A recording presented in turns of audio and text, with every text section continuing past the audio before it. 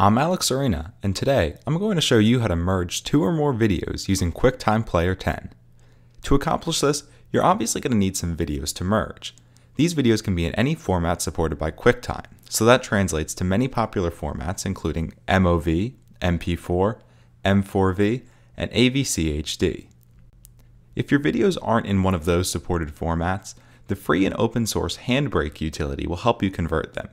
I've included a link in the description of this video to Handbrake for those of you who don't already have it installed. But in the interest of time, I've actually already taken the liberty of converting these three videos to a QuickTime compatible format.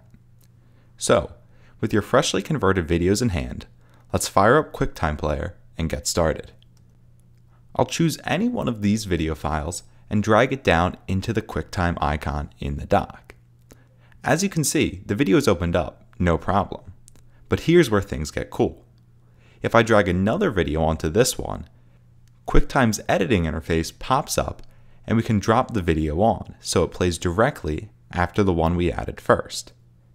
Now I can do the same with this final video and as you can see, QuickTime is handling it beautifully. Using this play button, I can play back my newly merged video to see if I'm happy with the results.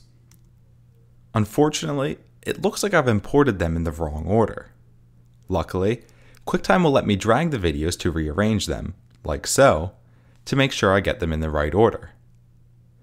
Now that that's taken care of, I'll press Done to finalize our edits. Finally, it's time to export. I'll do this by going to File, choosing Export, and then the resolution I'd like. In this case, that's going to be 1080p.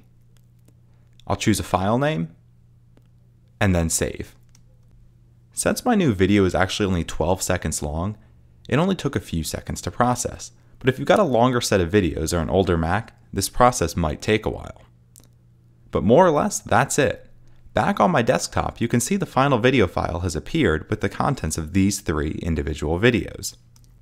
It's worth noting that what I showed you is about the extent of this feature. For more powerful edits, like adding transitions or other effects, you'll need to head into iMovie or Final Cut. But for basic merges, this does the trick nicely. I'm Alex Arena. Enjoy.